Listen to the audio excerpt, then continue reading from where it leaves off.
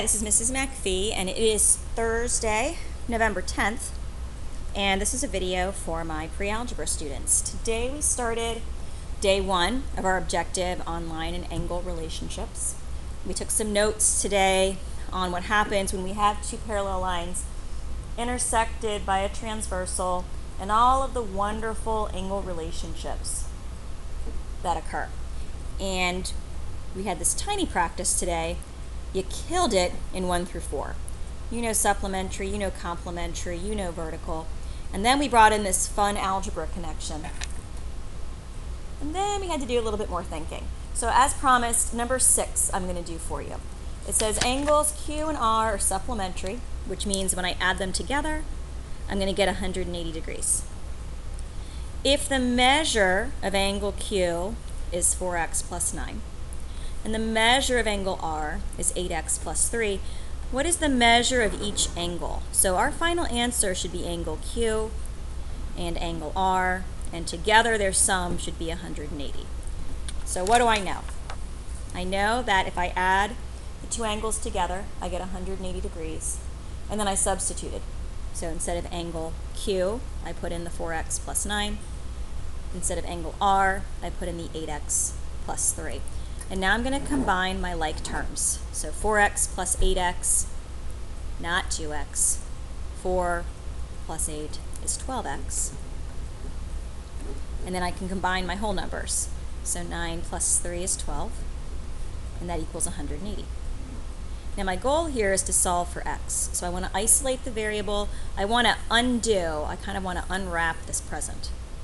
The opposite of adding 12 is subtracting. And by doing that, I'm going to get down to 12x.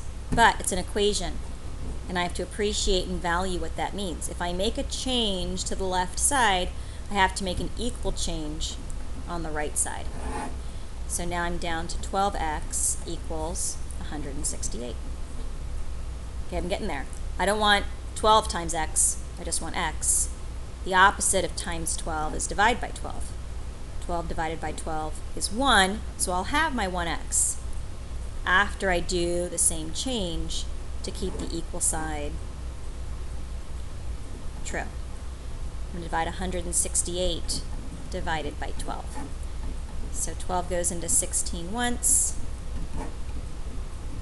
and 12 goes into 48 four times. x equals 14 degrees. Wonderful work, not our final answer because it said what's the measure of each angle. So back to angle Q. It said angle Q was 4x plus 9. And now instead of x, I can substitute the 14. So 4 times 14 plus 9, which is 56 plus 9, which is 65 degrees for angle Q. Angle R, sometimes students here will just subtract from 180. The problem there is if this answer is wrong, your other answer is also going to be wrong. So I always say do the substitution and then check your answer by seeing if your two numbers actually will have a sum of 180. So angle R was 8x plus 3, and now x is 14. So I can substitute 8 times 14 plus 3. So 8 times 14, 4 times 14 is 56. So 56 times 2 is 112 plus 3. So angle R is 115 degrees. And just to be sure, this is my angle Q. If I add up 115 and 65, do I get 180? Let's see, 10. Uh, what? It's like I know what I'm doing. Very good.